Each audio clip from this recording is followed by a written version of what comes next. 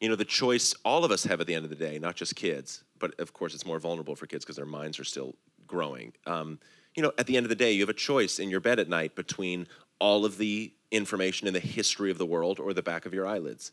And that's a crazy, crazy binary to be choosing the entire time, you know? And it's like we're hyper-connected and we're lonely, we're overstimulated and we're numb, we're objectifying ourselves and we're expressing ourselves. So both things exist together. And the sound of a phone dropping is maybe the most terrifying sound any of us could hear. Is it okay?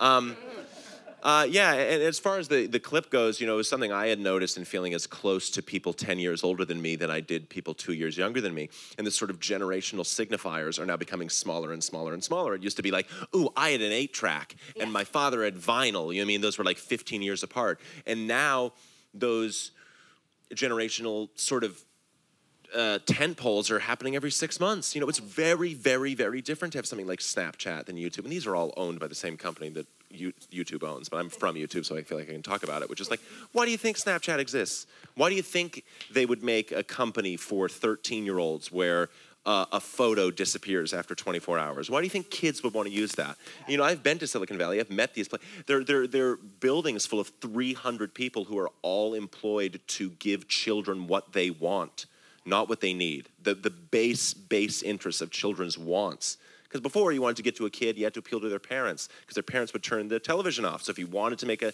program for a kid, it had to appeal to their parents because their parents were in control of the media they consumed. The kids have direct access to it now, so it doesn't matter.